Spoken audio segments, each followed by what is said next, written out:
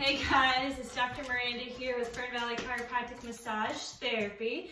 Um, I want to check in with you guys. It's been a while. Um, what we're going to do today is I'm going to go over some couch stretches because I'm sure a lot of you guys are sitting on the couch binging your favorite shows on Netflix, Hulu, whatever. So I'm going to show you some easy exercises you can do at home on your couch while you're being lazy during this quarantine. So the first thing you're gonna do is go to the end of your couch or chair, wherever you're sitting.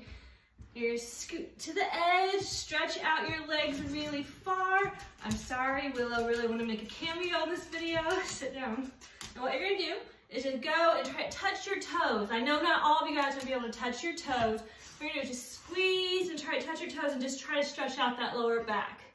The next thing you're going to do is you are going to sit back up on the couch cross your leg over. This is more for your sciatic nerve and your hamstrings. What you're gonna do is just bend over slowly like this. And you're really gonna feel that stretch in that left hip. And what you'll do is you will then just switch legs, go forward like this, and get another stretch. Another thing I'm gonna show you is for your mid back, because we haven't really talked about that in a while.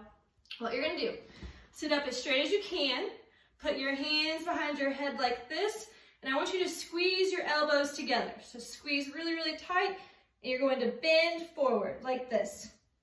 We're gonna keep squeezing the entire time.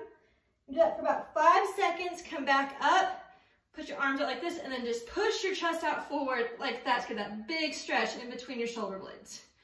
Now, the last thing we're gonna do is do your neck. So what you're gonna do is just turn your head, grab it, and just pull slightly to the left.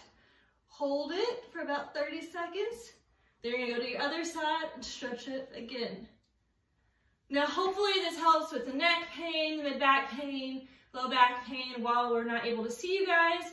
Like I said, I'll keep you guys updated. We haven't heard a whole lot more about what's going on. Um, hopefully we'll hear something in the next week or so to guys keep you updated. Until then, Let's keep this fun. Drop some shows below that all of our patients and followers can see what you guys are watching and good stuff to binge right now. Until next time, bye.